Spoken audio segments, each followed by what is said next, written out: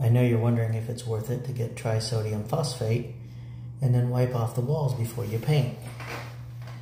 Well, that would take several, several coats of paint to cover up that stain.